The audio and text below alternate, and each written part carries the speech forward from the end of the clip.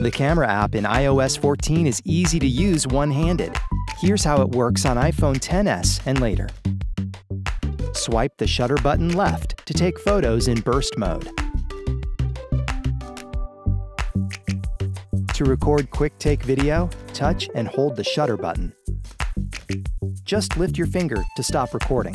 Swipe the shutter button right if you want to shoot video without holding down your finger. Never miss a photo op.